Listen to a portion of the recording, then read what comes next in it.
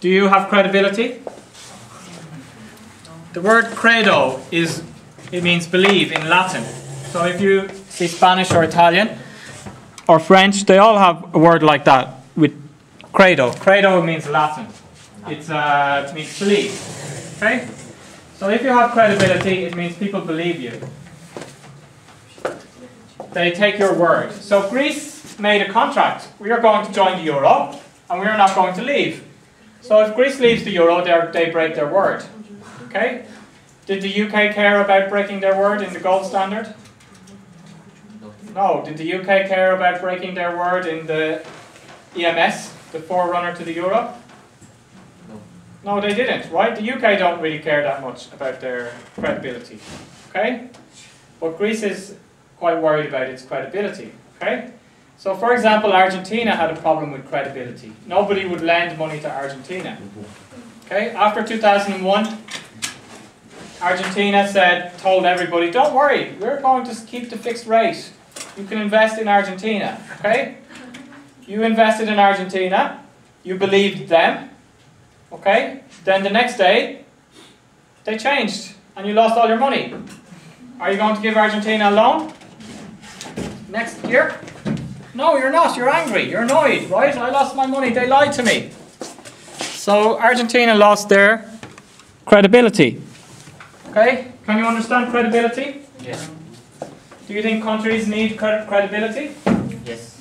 That's a debate. Some economists will say, well, look at Argentina now. It has no problem to get a loan nowadays. Ten years later, right? People forgot about it. Ah. It's over. Okay? They'll say, don't worry about credibility. Just a short-term problem. Okay?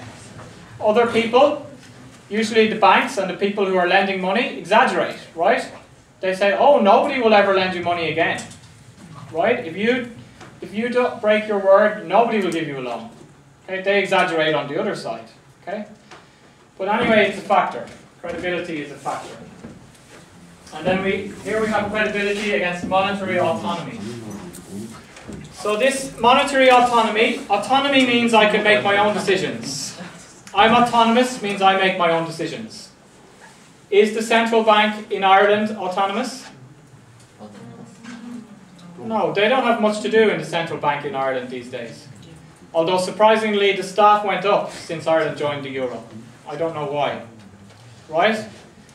But the European Central Bank decides the interest rate and decides the monetary policy for Ireland. Ireland, okay, for the euro area. Ireland still has a central bank. All it does is regulation and research. Okay? So if we don't have our own currency, we can't decide the interest rate. Somebody else is deciding the interest rate. Are we autonomous? No, we're not autonomous. Autonomous means I decide by myself. Okay? So, can Aruba decide its own interest rate? No. Can Hong Kong decide its own interest rate? No. No. Right? Can Hong Kong suddenly do a QE program? No. No, right? So we give up our monetary policy. That's a big deal, right? Mon but fiscal policy and monetary policy are the two main tools that we can use to stimulate the economy. If we give up monetary policy, it's like having one hand tied behind our back. Okay, all we can use now is fiscal policy. So that's a problem for Greece, stuck in the euro. They have one hand tied behind their back. They can't use monetary policy to get out of the problem. Greece would like to reduce the interest rate, make a very weak currency, do some QE, but Greece can't decide that. Only the ECB can decide. Is the European Central Bank going to make a decision because of Greece? Greece is just 3% of the Eurozone. Are they going to listen to Greece or don't care about Greece? Don't care. Right, Greece is just 3%. Don't worry, we're not going to change our mind because of Greece, right? Let's listen to Germany and France and Italy, much bigger. Okay? So Greece gave up its autonomy. If Greece wants to get back its autonomy, it needs to leave the fixed exchange rate system. Okay?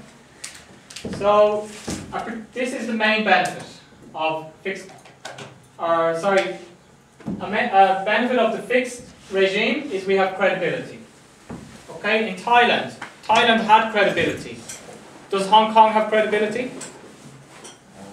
The last 20 or 30 years it's been the same exchange rate?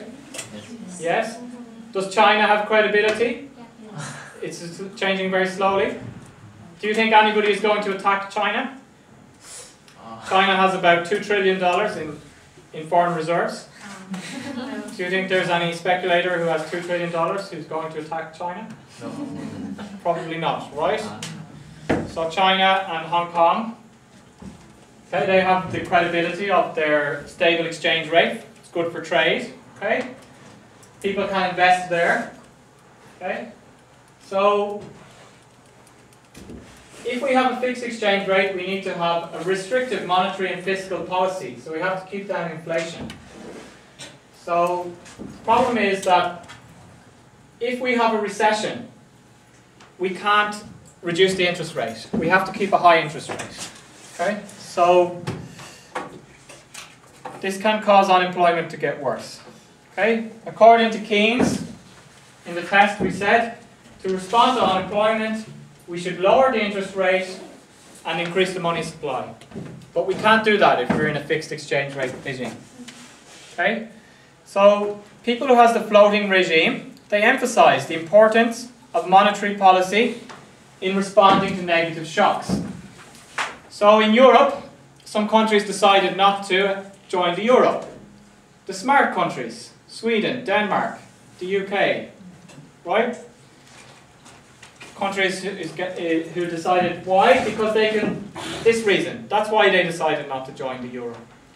So Sweden and the UK when there was the global financial crisis, they depreciated their currency by 20%. They reduced the interest rate to zero. They did QE.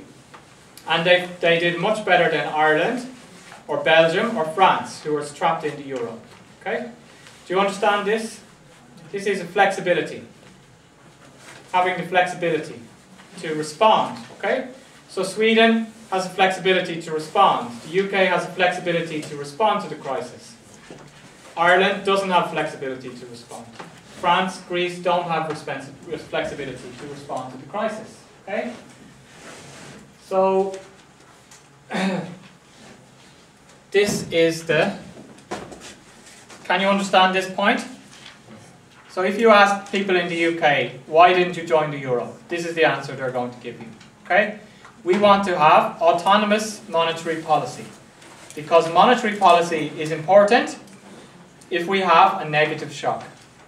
Okay? We need to be able to respond to the negative shock. So,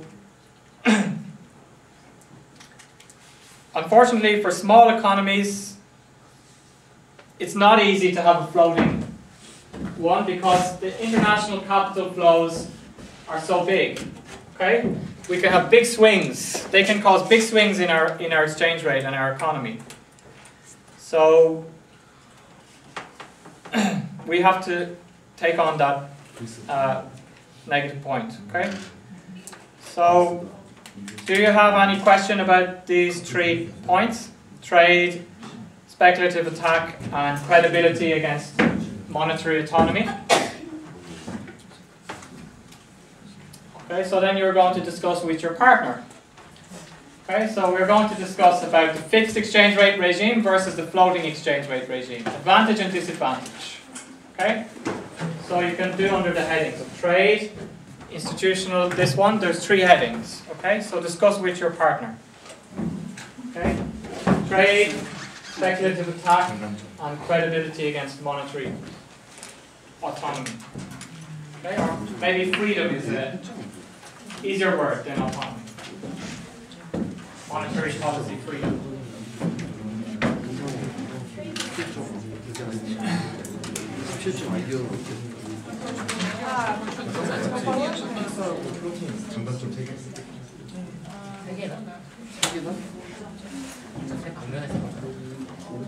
Let's, let's Nie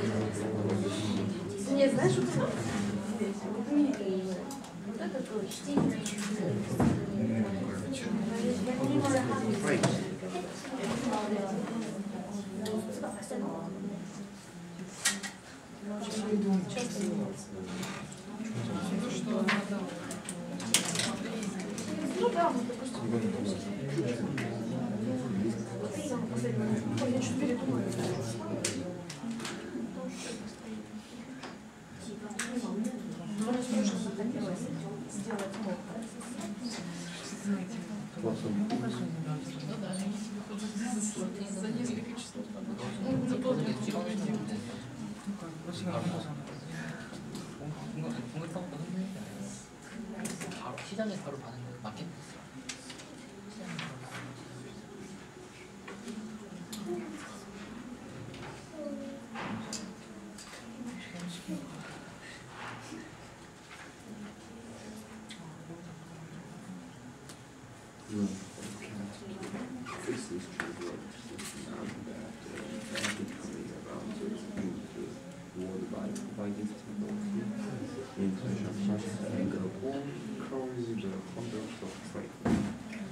We know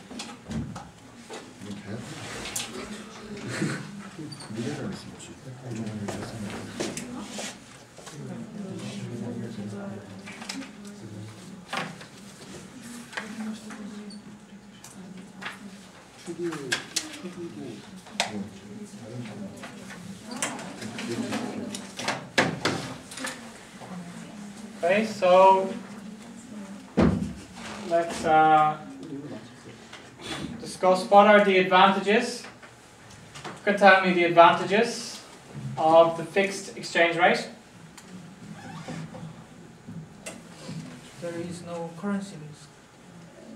So it's more stable for trade. Yeah. Okay, no currency risk. Stable promotes trade. Okay, who can tell me another advantage? Yes? Credibility. Credibility. Okay, if we keep the fixed exchange rate. Stable for trade, we have credibility in the international economy. Okay? Uh, then, what is disadvantage? speculations. Okay, there's a higher risk of a speculative attack. Okay, the, the speculators go against the government. Okay, try to make profit. Yes? Uh, limited reserves. Uh, if we can run out of reserves, right? So if we want to do the fixed one, we need to have a lot of reserves. That's what countries have learned by experience, right? So what's the advantage of the floating regime?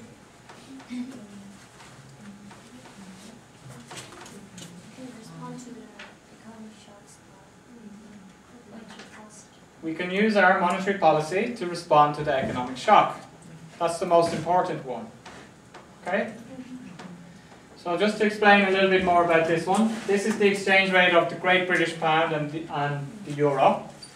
So one pound is equals to one euro fifty in 2008. Britain reduced their interest rate and did a QE program. So their pound got a lot weaker, 20% weaker. Okay? Went from 150 to 130 against the euro. If you look at the GDP growth in the UK and Ireland, Ireland in the euro, UK has the pound, do a lot of trade together. Ireland's GDP growth negative and still negative and getting worse. Okay? 2008, 2009. Britain, rebound. Small amount negative, but rebound quickly. Okay? So Ireland is very close to the UK. So you want to study English for the summertime, where are you going to go? Ireland or the UK? UK currency is 20% cheaper than normal. UK, right? It's Yeah. cheaper than Ireland. Yeah. Okay, so Irish language schools are doing less business. Okay, GDP is going down. British language schools doing more business. GDP is going up. Okay, Our, the interest rate. Europe was very slow to react. The European Central Bank because Germany wasn't that bad, right? So the European Central Bank didn't want to put the interest rate down that low or do the QE. They didn't do the QE until recent, you know, later. So uh, Ireland was stuck with the strong, with higher interest rates and no QE. In the UK, low interest rates. Companies are getting loans. Okay, more loans, starting new business. Okay. Uh, there's the QE policy. The money supply is increased. Okay, people can get higher salary and so on. Okay. So, because of this monetary policy reason, the UK was able to do better than Ireland. Who do you think was smarter, Ireland or the UK? Hmm? Do you know why Ireland didn't follow the UK? Similar to Greece, historical and political reasons. Ireland had a bad relationship with the UK, like Korea and Japan. So Ireland used to be had to be pegged to the pound, even though it didn't want to be. Follow the pound, right? So Ireland had a chance. New friends over there. Oh, we can be friends with Germany now. Germany, please be our friend. We want you to like us. Okay? Irish people want people to like them. So they want to be liked by the Germans. So they want. They should have, in my opinion, they should have sta stayed with the UK. Right? Ireland does much more trade with the UK than with Germany. Right? But we can understand that countries have different reasons, political reasons, not just economic reasons, for having a certain exchange rate regime. Okay. Nowadays, it's not so bad for Ireland because of the problems of Portugal and Greece and Spain. Uh, the euro is doing some QE. The interest rate is quite low. The euro is, is undervalued. So countries like Ireland and Germany, the Netherlands are getting some advantage now. Because they're in the same group as Italy and Spain and Portugal and Greece, the currency is, Ireland's currency is, the euro is too weak for Ireland. So Ireland's exports is going up nowadays, and Germany's the same. Okay? Do you understand that idea? In this case, the euro was bad for Ireland. But now, currently, the euro is good for Ireland. Because if we had our own currency, it would be stronger. But because we're in the euro, it's weaker than what it would be if we had our own currency. Because it's being dragged weaker by the other countries. So Germany is quite happy, right? Germany has a good situation now because Germany should have a strong currency. Okay? But because it's in the same group as Greece and Italy and Portugal, it has a weak currency. So it's able to. Uh, investors invested about tens of billions of euros in the German stock market in the last year, right? Because they expect the German companies to do better because of the weaker euro. They're in a fixed exchange rate system where they get an advantage. The exchange rate is too weak for them. Okay, so do you understand these advantages and disadvantages? Okay, so then let's go back to the. Uh, you can read the reading in your own in your own time again. Okay, and go back over the uh, the reading.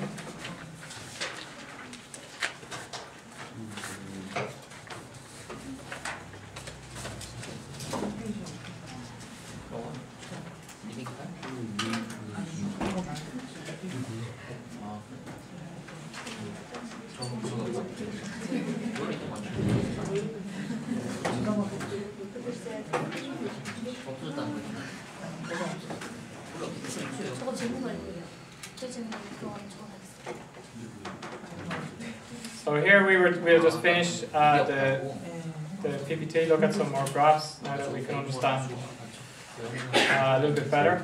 Okay, we finished here the last time on the PPT. Uh, we already explained about the carry trade, right? Here's a slide on the carry trade we saw in the exam. So we borrow in the yen from the Japanese bank, convert the funds into the Australian dollar, okay, and hope that the exchange rate doesn't change too much. But we already explained that. Just we should know that the carry trade is, is it can result in a huge amount of capital flows, like speculation. Okay, so it's an important factor. High interest rate currencies have the demand, low interest rate currencies increase in supply.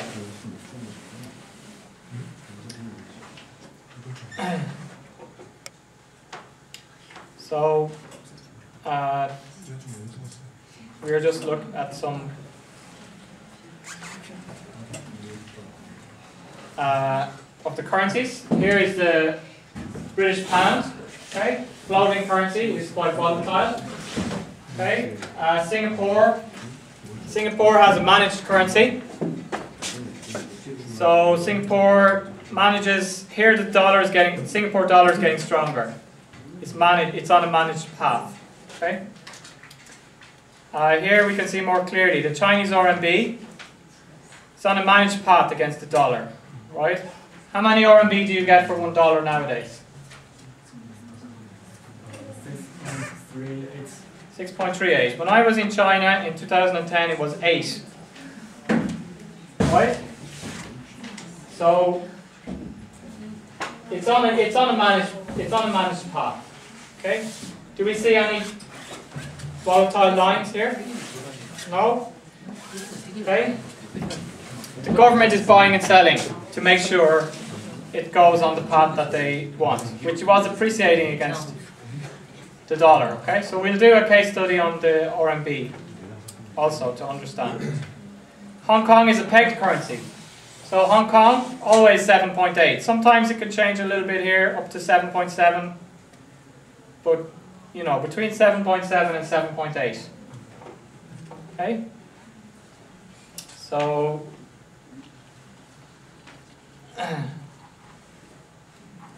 so we, we'll just, uh, we looked at the reading, but this is just recapping the reading. Floating currencies have more risk for firms and investors. Okay? Trading. Very volatile over the short term. Do you understand volatile? Change a lot. Okay? This can complicate doing business for exporters, asset managers, banks, companies. Okay, so basically we need to use a risk management tool with the floating exchange rate. So the managed currency, uh, these currencies are not as volatile. Okay, we we buy or sell the currencies to manage the exchange rate. Okay, why do why do governments peg their currency? Promote confidence and credibility in their economy, okay, in their currency, and promote economic growth. So it, we want to encourage FDI or long-term capital inflows, long-term loans. Okay. So we want, if the people know that we are exchange rate is very stable, they can give us a loan for two years, for four years, for six years. If they think our exchange rate is not stable, they give a loan for three months, for six months. One of the problems in the Korean crisis, Korean banks were getting loans, just very short-term loans from the US of three months, of six months. Uh, but they were lending the money to Korean people to buy houses, 20 years or 30 years, right? So if we have a fixed exchange rate, we can get longer-term uh, loans. So it can attract the FDI too. So there is no exchange rate risk in this case, unless the speculators attack. So here is the Saudi Arabian currency, always same against the US dollar, okay, fixed exchange rate.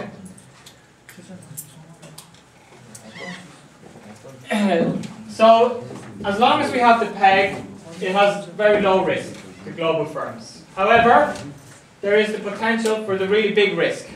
We call it destabilizing speculative attack. Okay? If governments abandon, leave the peg for another currency regime, okay? then we can have this kind of enormous risk. We can have an orderly change. Okay, China changed from the fixed one to the uh, managed one. If we look back at the graph of China, we can see that they, well, it doesn't go far enough, but they used to have, China used to have the fixed, but they changed to the managed one. That was organized, and everybody knew about that, so there was no crisis, right? They, they announced that a year beforehand, okay? When the currencies made the euro regime, they announced that years before. Everything was organized, okay? If Greece was to leave the euro, that would be the correct way to do that. Tell everybody one year or two years later, three years or four years later, we're going to leave the euro. Okay? Then everybody can be prepared.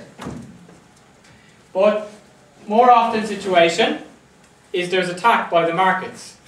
Okay? And then you're forced, you don't have a choice. It's not planned, you're forced out. And this can cause some uh, big impact for companies and investors. Companies and investors can lose a lot of money in that case. So we should be on the alert and we should be looking out for exchange rate regimes which can change. So sorry, here is the Chinese graph. Right here they had the fixed exchange rate from 2000 to 2004 and then they changed to managed. So here the exchange rate was always 8.25 and since that time they've allowed it to get stronger gradually, 5% a year or something like that, right? So, uh, just we're going to briefly look at these. You can look forward before the next class. We're just going to look at just Britain, Mexico, Filipino uh, stories, right? So you can just read the story, and you can also read online about the British pound, right? Here you, we have the little story. So you can read about that in your own language if you want, right? 90, just Google 1992 British pound, okay? And you can find the information about uh, exactly what happened in the UK. So then uh, let's finish there for today.